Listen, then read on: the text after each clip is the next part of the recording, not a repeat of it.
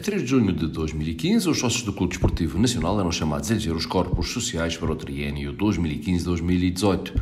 Depois de um ano fora do clube, Rui Alves volta a candidatar-se à presidência, encabeçando a única lista candidata ao ato eleitoral. A resposta dos sócios foi esclarecedora, com o dirigente a ser eleito neste dia para o seu oitavo mandato como presidente do Nacional.